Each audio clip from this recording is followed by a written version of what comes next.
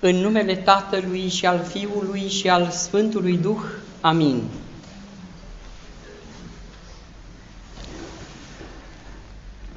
Unde este comoara ta, acolo va fi și inima ta. Iubiți credincioși, iată-ne și pregătindu-ne pentru începutul postului celui mare. Evanghelia de astăzi, de la Sfântul Evanghelist Matei, ne vorbește despre câteva principii pe care Mântuitorul le-a dat și prin gura lor ne vorbește și nouă despre ceea ce înseamnă pregătirea pentru post. Și ne-a vorbit în câteva cuvinte, în primul rând despre iertare. Dacă nu veți ierta oamenilor care v-au greșit, nici Tatăl vostru nu vă va ierta greșelile voastre. Apoi despre post ne-a spus, atunci când postiți, ungeți capul vostru și fața voastră o spălați ca să nu arătați oamenilor că postesc, că postiți. Pentru că fariseii fac așa și își iau plata lor. Voi însă postiți și vă rugați înaintea Dumnezeului care este în ascuns și El vă va răsplăti în ascuns. Apoi vorbește puțin și despre avere. Nu vă faceți averi pe pământ, unde moliile și hoții le fură. Faceți-vă comori în cer, acolo unde nici moliile nu le strică, nici furul nu le sapă și nu le fură. Și încheie Mântuitorul spunând, acolo unde este inima voastră, acolo va fi și unde este comoara voastră, acolo va fi și inima voastră. Iubiți credincioși, iată câteva principii despre care tot am vorbit. Dar astăzi vreau să vă spun altceva. Și anume, de ce se numește Duminica de astăzi, Duminica izgonirii lui Adam din Rai? Pentru că este vorba de noi. Nu este vorba de Adam, este vorba de noi. Și noi credem întotdeauna că a fi izgoniți de undeva înseamnă neapărat un lucru rău. Nu. Ca să înțelegeți unde vreau să ajung, imaginați-vă că cea care îi pregătea baia lui Arhimede ar fi pus apă numai până la jumatea căzii. De unde mai constata Arhimede că un corp scufundat într-un lichid dislocă volumul de apă? Imaginați-vă că stătea la umbră Newton și nu cădea celebrul măr. Mai vorbea despre gravitație. Imaginați-vă că se mânca pâine mucegăită fără ca cineva să facă o legătură cu ceea ce va urma, adică cu penicilina.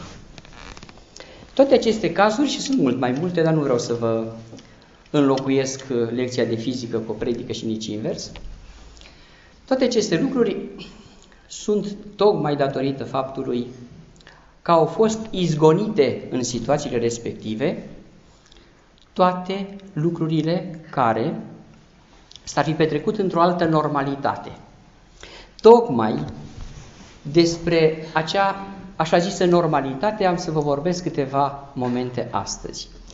Pentru că noi, încă o dată vă spun, suntem apăsați de această impresie greșită, cum că dacă suntem alungați dintr-o parte înseamnă că se întâmplă ceva rău.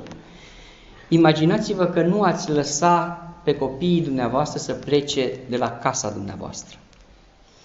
Imaginați-vă că i-ați ține pe copii nevaccinați pentru că vi se pare într-un fel că sunt uh, otrăviți sau cine știe ce lucruri se vor putea întâmpla. Dacă un copil nevaccinat intră într-o colectivitate, și bineînțeles că nu putem să-l izolăm toată viața, ce se va întâmpla dacă va veni un microb? Pe cine va ataca el oare? Știți cum e cu microbul? Cum este cu hoțul în parcare?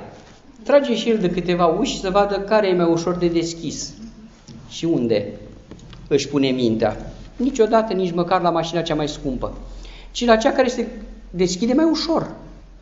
Așa se întâmplă și cu cei care nu sunt atenți și vor să extragă dintr-un grup, dintr-o generație, dintr-o etapă logico-psihologică a vârstei pe propriul copil. De ce? Fără să-și dea seama să-i facă rău. Chiar am avut o discuție destul de scurtă, dar am promis că o să o am așa mai amplu, cu cineva care spunea că nu își poate împărtăși copilul aici la biserică lângă toți pentru că nu este vaccinat și s-ar putea să ia microbi. Zic, păi tocmai ăsta e rolul vaccinului, ca să poată să fie toți la fel. Am auzit diverse păreri despre vaccin. Eu, unul personal, am un tratament care este ca o otravă, dar fără această otravă nu pot să trăiesc mai mult. Dacă să spunem că am fi vaccinați chiar cu o otravă care să ne facă rău, dar dacă toți ceilalți sunt la fel, ce ne facem? Dacă noi ne abținem de la această otravă, niciodată nu putem să luptăm. Organismul nostru este alcătuit de Dumnezeu astfel încât să se vindece singur, să se regenereze singur. Dar pentru aceasta îi trebuie cultivat un anumite, anumit mod de viață. Și anume, anticorpii din organismul nostru nu pot să fie cultivați fără o provocare, fără o izgonire din rai. Noi, degeaba ne-am pregătit de Paști, degeaba ne-am primenit, degeaba am crede că am făcut totul, dacă nu am acceptat izgonirea din rai. Și ce înseamnă izgonirea din rai? Înseamnă, în primul rând, părăsirea stării de comoditate. Să știți că, iarăși, îmi asum să vă spun că această comoditate este greșit hulită de mulți. Comoditatea pornește de la lucrurile noastre. Un om comod nu este neapărat un om care stă așa cu fața în sus și din când în când mai zice pică pară mălăiață. Nu, nu. Nu neapărat aceasta înseamnă comoditate. Comoditate înseamnă a face același lucru în fiecare zi, aproape de rutină. Comoditate înseamnă a cultiva același anturaj. Comoditate înseamnă a frecventa același grup de prieteni și ieșirea din acest așa zis rai care începe să fie căldicel și din care Dumnezeu nu ne vrea să rămânem și ne scoate afară, astăzi aflăm că trebuie să fie părăsit. Ce ne-am face noi cu viața morală dacă noi am căutat numai apropierea de persoane care sunt uh, mult îmbunătățite? Niciodată un sfânt nu poate să fie sfânt între sfinți. Trebuie să lupte ca să fie sfânt, trebuie să își cultive uh, tot ceea ce înseamnă bucuria de a constata că și-a învins pe deplin înclinațiile. Adică ce? Adică comoditatea. Și iată că, dintr-o dată, comoditatea ni se prezintă ca un aliat al nostru, pe care din când în când trebuie să-l lăsăm deoparte și să mergem să ne antrenăm în altă parte. Nu o să stăm acum uh, tot timpul în sala de forță. Cumpătarea trebuie să știți că trebuie și în lucrul bun.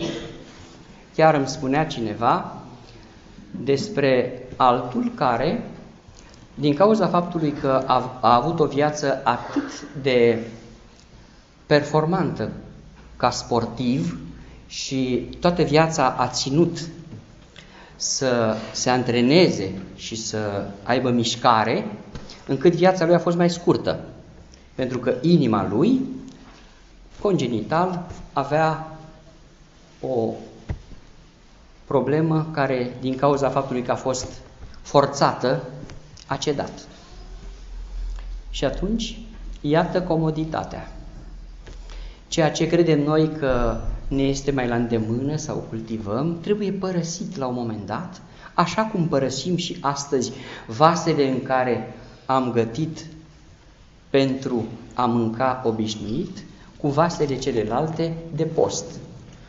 Să nu credeți acum că este neapărat uh, o trimitere la o situație foarte uh, veche. Înainte vreme, vasele în seara aceasta se dădeau deoparte și se înlocuiau cu cele pentru post. Nu se amestecau lucrurile. O să spuneți că lumea era foarte, foarte atentă cu lucrurile acestea. Nu, lumea era mai realistă. În sensul că nu neapărat faptul că s-ar fi putut să rămână vreun micron de uh, grăsime animală. Nu aceasta era situația. Ci și vizual, când luai contact cu o alt, un alt vas, deja în minte se petrecea ceva. A, nu mai e ca ieri, nu mai e ca săptămâna trecută înseamnă că s-a întâmplat ceva. Noi avem nevoie de niște stimuli externi ca să ne spună tot timpul că trebuie să schimbăm ceva.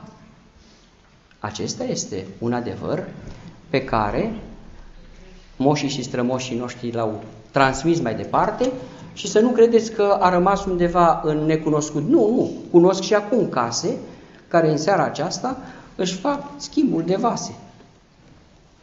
Nu este nimic exagerat, ci este o pregătire în care se vrea ca tot ceea ce se întâmplă frumos să își aibă și ceva vizibil, pentru că altfel riscăm să mergem așa în continuare. De ce l-a izgonit Dumnezeu pe Adam din rai? Vă spun ceva, pentru că aflăm din slujba înmormântării un adevăr deosebit pentru ca răutatea să nu fie fără de moarte, din iubire de oameni, ai poruncit amestecului și împreunarea acesteia să se desfacă. Dacă Adam ar fi rămas în rai, ar fi rămas nemuritor cu păcatul. De aceea a fost nevoie să fie dat afară ca să scape de păcat și să fie reprimit în rai, curat, așa cum suntem și noi reprimiți, după taina spovedaniei, apoi a împărtășaniei, până când viața ne va arăta drumul spre casă. Pentru că drumul spre casă este un drum deosebit pentru fiecare în parte. Și anume, acum venim la tema temelor. Acolo unde este comoara ta, acolo este și inima ta. Drumul către casă este drumul către comoara noastră. Fiecare om are o comoară pe care și-a fixat-o. Chiar îmi aduc aminte de un coleg de-al meu, pe care alt coleg îl făcea uh, oarecum atent.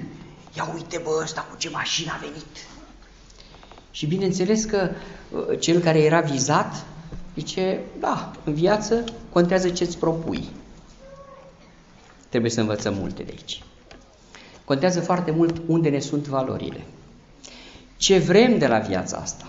Unii consideră că adevărata lor comoară sunt copiii, alții care sunt singurei reprezintă pe celălalt, alții că sunt părinții, alții că să aibă a doua casă, alții a zecea mașină, fiecare are câte o comoară.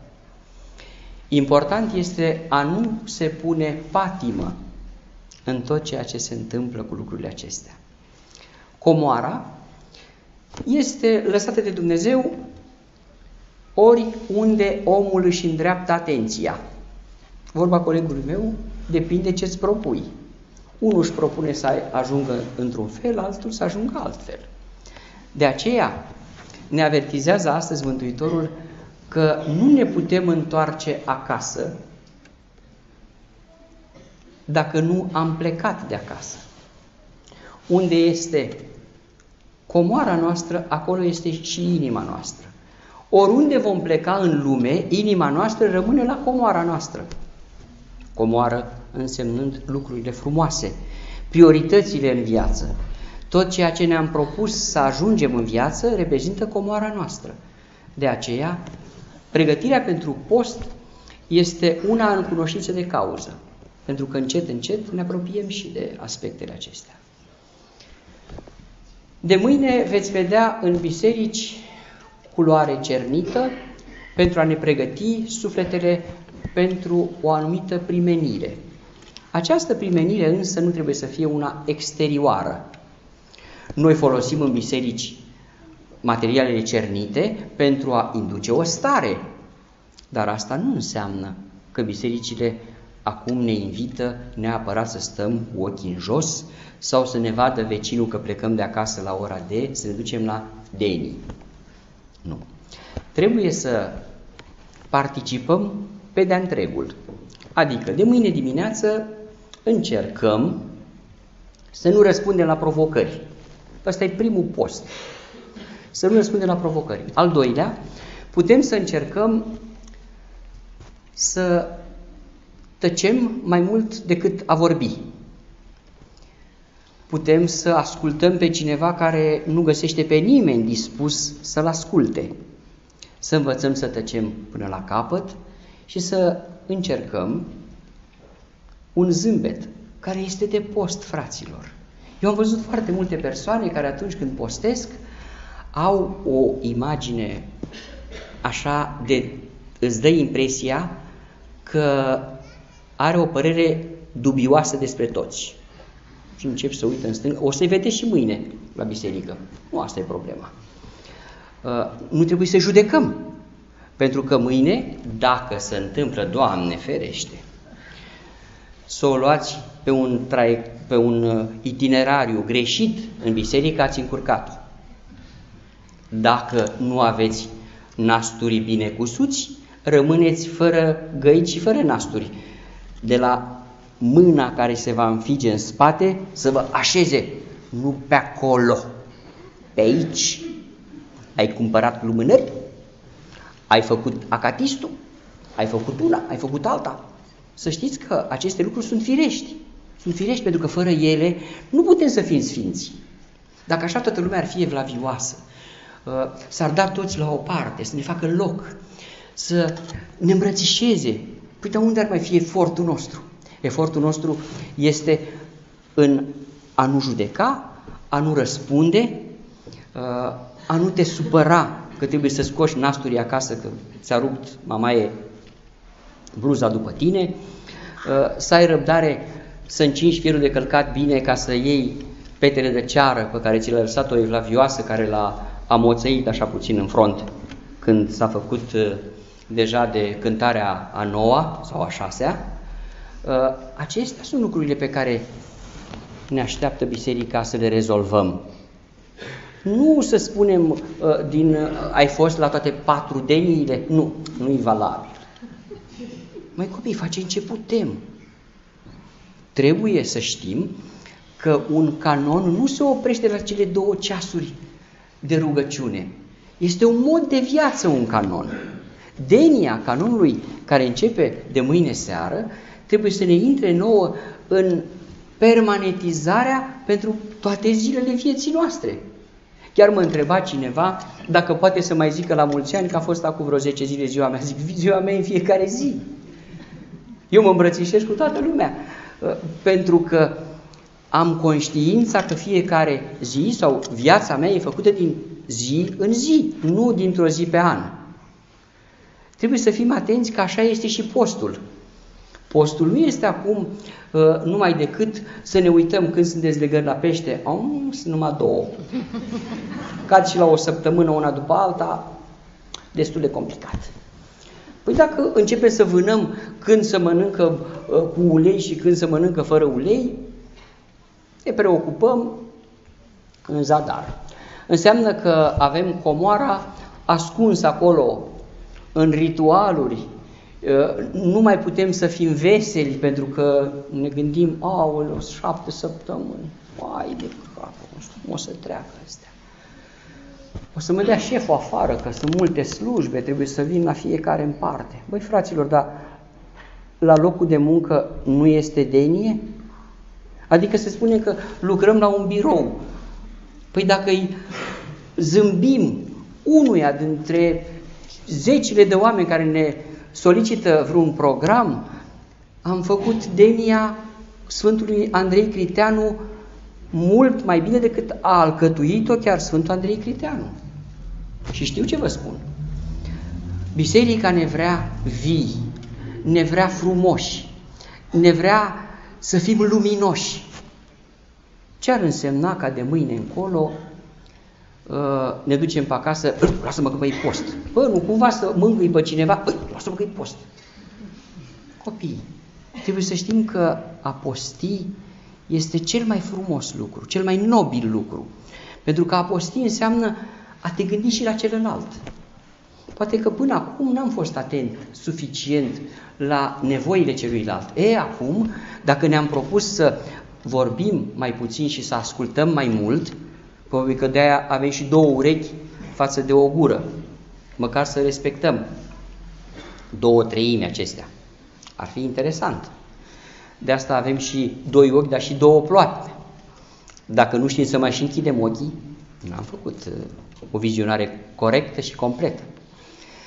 Va să zic că ne așteaptă un post în care cel mai valoros este a ne purta firesc.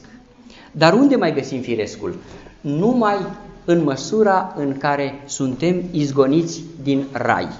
Adică izgoniți din uh, activitățile noastre de toate zilele, uh, din bârfa noastră de toate zilele, din imaginea uh, pe care o vedem în toate zilele.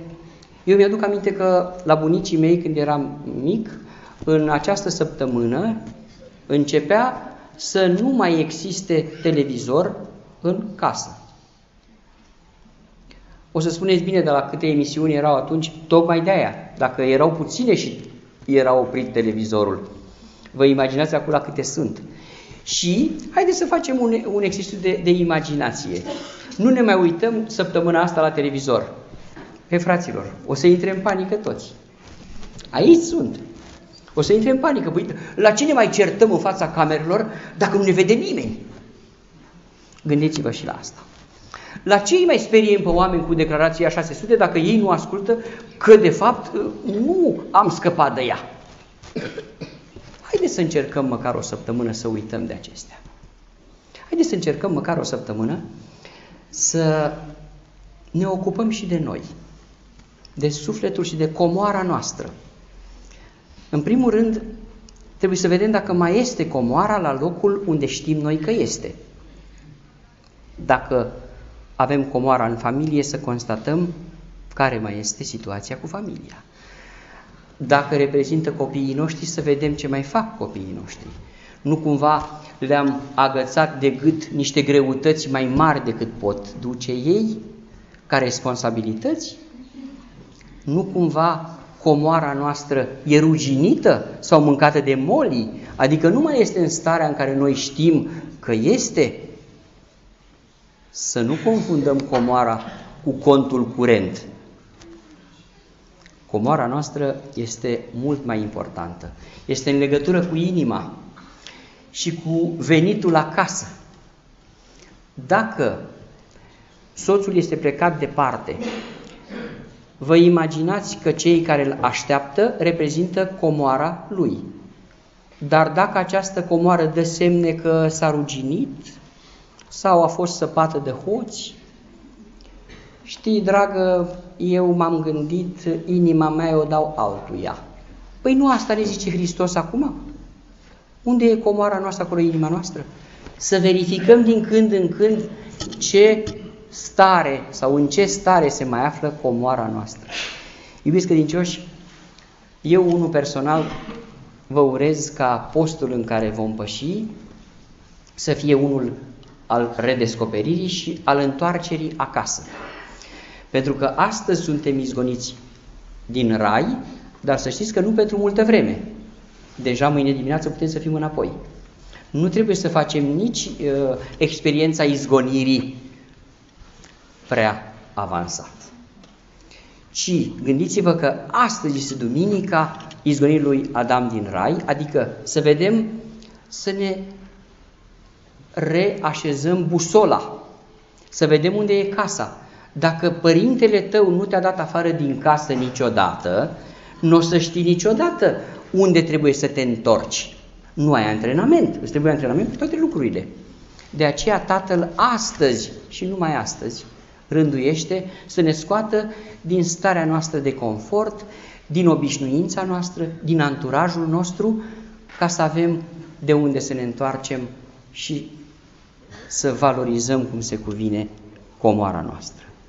Să dea Dumnezeu ca postul în care vom păși să fie unul al redescoperirii valorilor noastre, al șlefuirii comorii pe care noi de multă vreme credem că o avem șlefuită și nu avem, și când constatăm că drumul nostru spre casă, spre comoara noastră, este pregătit, să dăm slavă lui Dumnezeu că astăzi ne-a izgonit de acasă.